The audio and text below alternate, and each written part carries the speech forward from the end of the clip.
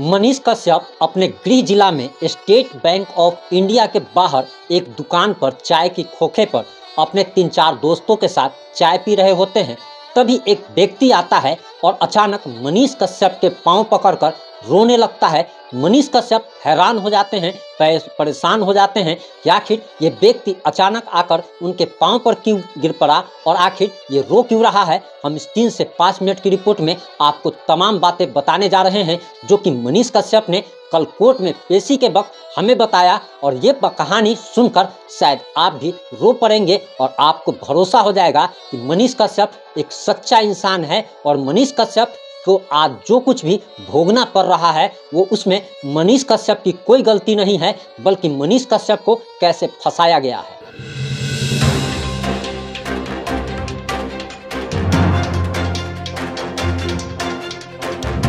मैं प्रिंस कुमार सिंह और आप देख रहे हैं पॉजिटिव इंडिया अगर अभी तक आपने चैनल को सब्सक्राइब नहीं किया है तो खबरों से अपडेट रहने के लिए कृपया चैनल को सब्सक्राइब कर लीजिए और जो लोग ऑलरेडी कर चुके हैं, उन तमाम लोग को सही हृदय धन्यवाद। दरअसल, ये कहानी मनीष कश्यप ने खुद कोर्ट में सुनाई।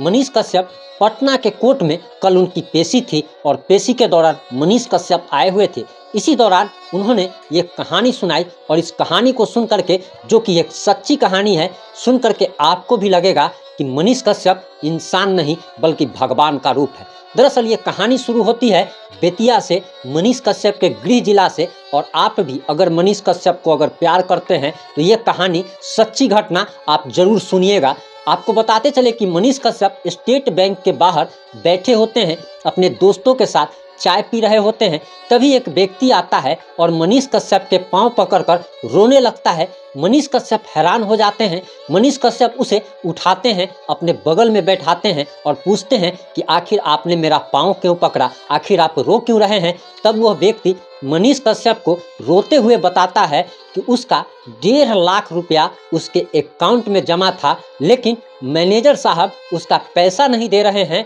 और दरअसल उसको कहा जा रहा कि अब उसके अकाउंट में पैसा है ही नहीं, उसे पैसों की सख्त ज़रूरत है। दरअसल उसके बेटे के दिल में छेद है और वह डेढ़ लाख रुपया निकाल करके अपने बेटे की ज़िंदगी बचाना चाहता है। अगर वो पैसा अगर नहीं निकला तो वो व्यक्ति का बेटा मर जाएगा। उसका बेटा इस दुनिया को छोड़कर चला जाएगा। ये बात जैसे ही मनीष कश्यप सुनते हैं वे हैरान हो जाते हैं, परेशान हो जाते हैं कि आखिर किसी व्यक्ति का अकाउंट में पैसा है तो आखिर वो पैसा क्यों नहीं निकाल पा रहा है? वो उस व्यक्ति से ये पूछते हैं कि क्या आपके पास एटीएम कार्ड है? वो व्यक्ति कहता है कि नहीं, मैंने कभी कोई एटीएम कार्ड निकाला ही नहीं। जब उस व्यक्ति से पूछते हैं कि क्या आप इंटरनेट से आप ट्रांजेक्शन भी आपने किया है इंटरनेट बैंकिंग भी आप करते हैं, वो व्यक्ति कहता है कि मेरे पास तो मोबाइल ही नहीं है तो मैं कैसे इंटरनेट बैंकिंग कर सकता हूँ? तब मनीष कश्यप को उस व्यक्ति पे दया आ जाती है। मनीष कश्यप उस व्यक्ति को लेकर के बैंक मैनेजर के पास पहुँचते हैं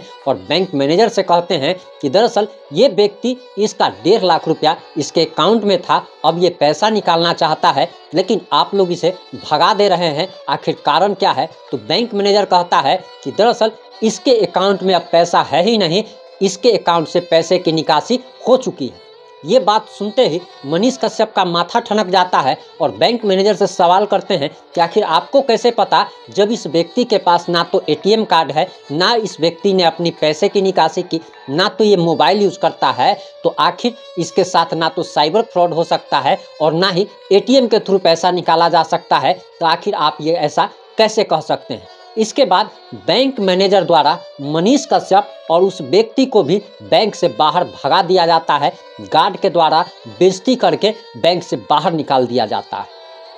मनीष कश्यप के मन में एक ही बात चलती रहती है कि अगर इसके पैसा अगर इस व्यक्ति को अगर नहीं मिला तो इसका बेटा मर जाएगा और उसके बेटे को बचाने के लिए मनीष कश्यप बैंक के बाहर से एक वीडियो बनाते हैं। और दरअसल मनीष कश्यप ये वीडियो बनाते हैं कि देखिए, हज़ारों सीसीटीवी कैमरे हर एक बैंक के बाहर लगे होते हैं, लेकिन कभी बैंक के बाहर से बाइक चोरी हो जाती है, कभी बैंक के बाहर से किसी का पैसा लूट लिया जाता है तो कभी किसी व्यक्ति के अकाउंट से अवैध निकासी हो जाती है और उस व्यक्ति को बैंक मैनेजर द्वारा प्रताड़ित किया जाता है, भगा दिया जाता है और मनीष कश्यप उस वीडियो को हर एक अधिकारी तक पहुंचाते हैं आरबीआई तक पहुंचाते हैं और वो वीडियो जब आरबीआई तक पहुँच जाता है, तब आरबीआई की तरफ़ से एक निर्देश जारी होता है और पटना से अधिकारियों की टीम बेतिया आती है और स्टेट बैंक के मैनेजर से पूछताछ करती है। स्टेट बैंक के मैनेजर को पूछताछ के दौरान वहाँ से आए कर्मचारी कहते हैं कि दरअसल अगर अवैध निकासी नहीं हुई है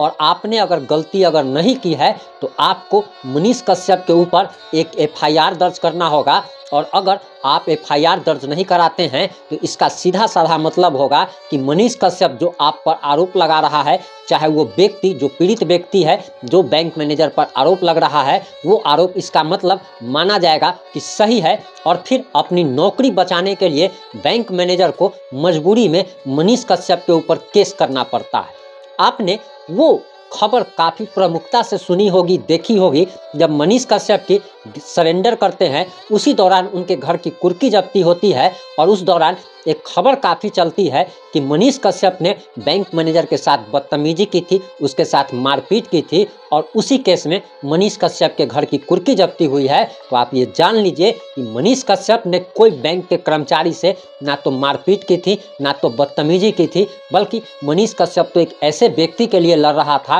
जिस व्यक्ति के बेटे के दिल में छेद था और उसका अपना पैसा बैंक देने से मना कर रहा था, कह रहा था कि आपके अकाउंट से अवैध निकासी हो चुकी है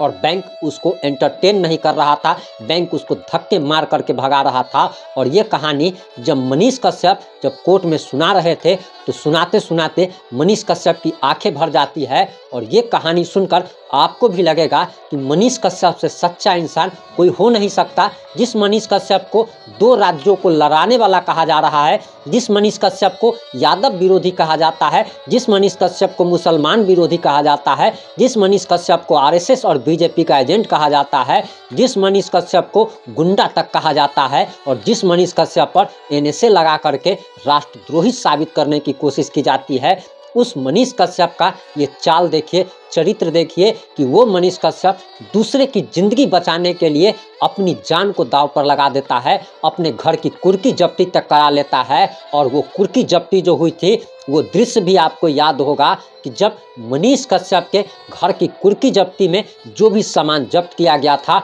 उसे कोर्ट के आदेश पर उसी थाना को वापस करना पड़ता है, जो थाना मनीष कश्यप के घर जा करके अपने आप को सन्नी देवल समझ करके गदर फ़िल्म की तरह चापा कल उखाड़ देता है। जरा सोचने की बात है कि हवा और पानी प्रकृति की देन है और उस पर कोई किसी प्रकार का प्रतिबंध नहीं लगा जा सकता। लेकिन मनीष कश्यप के घर से चापा कल तक उधार, उखाड़ लिया जाता है और इससे आप समझ सकते हैं कि एक सन ऑफ़ बिहार जिसे कहा जाता है, वो व्यक्ति किसी दूसरे के लिए लड़ता था और आज आपको ये जानकर खुशी होगी कि वो मनीष कश्यप जो अभी जेल में है लेकिन वो भगवान का रूप है। उसने इक्यावन हज़ार रुपये का विमल कुमार यादव जी को मदद कराया, पच्चीस हज़ार रुपये का नादिर अंसारी को मदद कराया, जो कि ब्लड कैंसर जैसे खतरनाक बीमारी से पीड़ित है। इससे आप समझ सकते हैं कि मनीष कश्यप इंसान के रूप में भगवान हैं और इस कहानी से आपको क्या सीख मिलती है। आप कमेंट करके ज़रूर बताइएगा।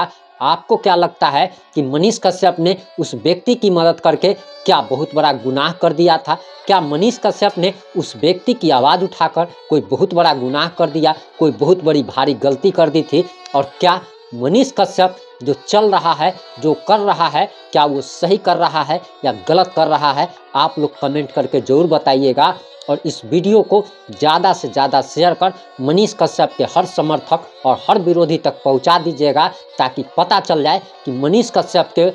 घर पे जो कुर्की जब्ती हुई थी, वो कहीं चोरी करने के कारण नहीं, कोई घोटाला करने के कारण नहीं, किसी का खून चूसने के कारण नहीं, बल्कि किसी की ज़िंदगी बचाने के लिए और भलाई के कारण ही मनीष कश्यप अपने घर पर कुर्की जब्ती तक करा लेता है। जुड़े रहें हमारे साथ। जय हिंद, जय भारत, जय जय बिहार।